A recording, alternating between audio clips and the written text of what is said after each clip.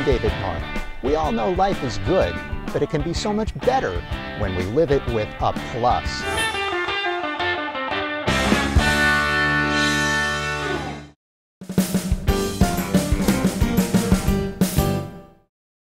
Living Plus is brought to you in part by AARP Long Island. Get to know us and the real possibilities for you at aarp.org slash Long Island. Fire Island's Cherry Grove has long been a place where LGBT couples felt at home.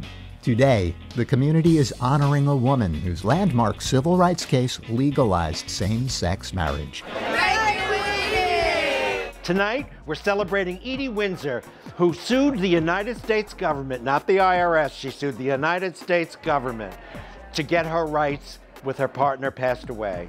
And it's because of the groundwork that she laid that we now have same-sex marriage is legal in all 50 United States. Today was Gay Pride Day in Cherry Grove. We made Edie Windsor the Grand Marshal of the parade, so we went through town and honored her that way. And then we had a documentary about marriage equality in New York State. After the parade, at the formal reception, grateful couples expressed their gratitude. We are married, yes. As of uh, August. Oh, what, what, oh, August listen 1st. to this. August 1st, 2012. I wondered Yes, why you had to yes. think so hard about that. Well, we married first in, in New York State before Edie's court went to uh, case went to court, and on the day that she won that case, I happened to be driving, and I started crying, and I had to pull over. I was crying so hard because all of a sudden, because of this wonderful woman, our marriage was recognized by the entire United States, and not just the state of New York. We've been together this year 29 years. And last year in June, we got married on our back deck because it was our inalienable rights to do so. And that's why we want to thank And Edie that's why we wanna thank heart, Edie. Because we could get our federal rights, and that's what we want, like everybody else has. It's beyond like being, you know, friends, lovers, whatever. It's like It's it's the true it's the tr- it's the real it's the most real thing. Just knowing that that we have this legally acceptable thing that you cannot get unless you really are married. Although Edie's activism has changed American society, she's coy about her achievement. No, I really came to, to, to lead the parade.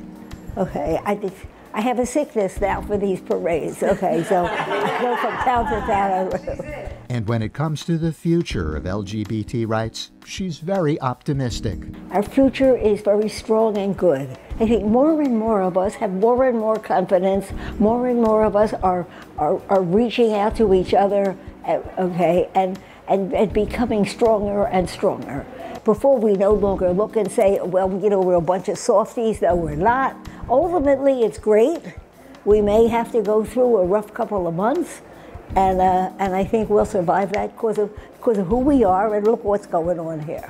That optimism is also shared by her supporters. When we were your age, there was no such thing. There We wasn't had- even walking around with a girlfriend.